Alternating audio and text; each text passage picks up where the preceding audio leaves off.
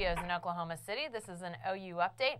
I'm Jenni Carlson. A day after Oklahoma announced its assistant coaches assignments, one of those assistants is leaving. Jason Kersey joins us to talk about Jerry Montgomery's departure to the Packers. Jason, uh, how much of a surprise is this that Jerry Montgomery is moving to the NFL?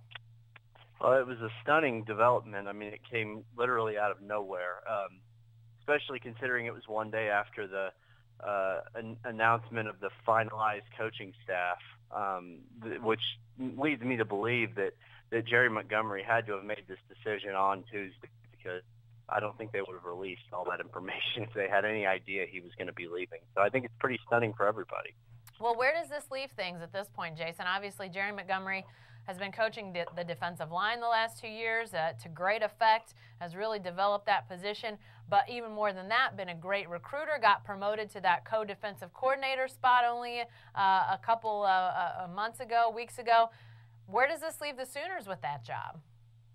Well, I mean, uh, I think you know, right after they thought they were done with, uh, with the coaching stuff uh, for this for this year, they they have another coach to hire, and it's uh, you know I'm sure it's a major bummer for the for Bob Stoops. This is a guy that uh, he was really grooming, I think, to to do big things. And um, you know Bob called him a rising star in the coaching profession um, when he promoted him, and that's absolutely true. I just don't think that he expected that uh, he was he would be rising this this hmm. much uh, already this far, this fast, definitely. Well, uh, now obviously Oklahoma will be looking to fill that spot, and I guess, Jason, it could potentially um, move some guys around even beyond that staff announcement we saw on Monday. But even if not, uh, any any surprises that uh, came out of those assignments?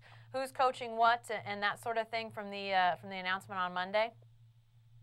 Yeah, you know, I, I thought that Cale Gundy's move uh, to inside receivers was interesting because, you know, he's been, uh, you know, arguably one of the greatest running backs coaches in the country for the last uh, however many years, 16 years. So uh, his move was interesting. I think that's good for him, though. He's going to be able to sort of try something new. And as a former quarterback, I think he could do really well coaching receivers.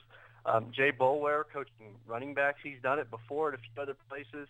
Um, but you know, has he ever coached a running backs quite like this? Uh, OU has some a whole bunch of really good ones. Uh, so it'll be interesting to see how he does there.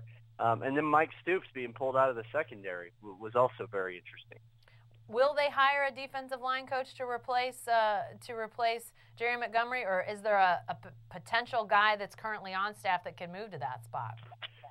Uh, I think they'll hire a defensive line coach. Um, you know, I don't think they're going to move anybody around anymore that's already on the staff. Uh, I suppose they could move.